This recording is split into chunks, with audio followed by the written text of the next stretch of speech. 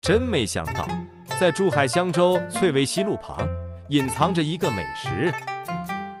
对，就是这栋楼，清华十二郡一楼。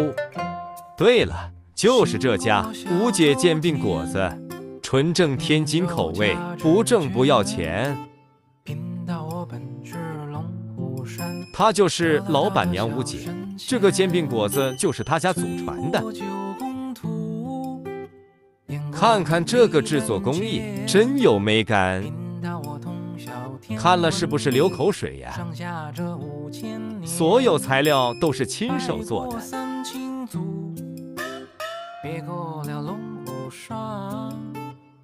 看看这煎饼果子的包卷过程，色泽很漂亮，口味应该不错。咬一口试试，脆脆的好爽口，里面有鸡蛋、培根，都是我最喜欢的口味，太好了，在珠海也能吃到正宗的天津煎饼果子了。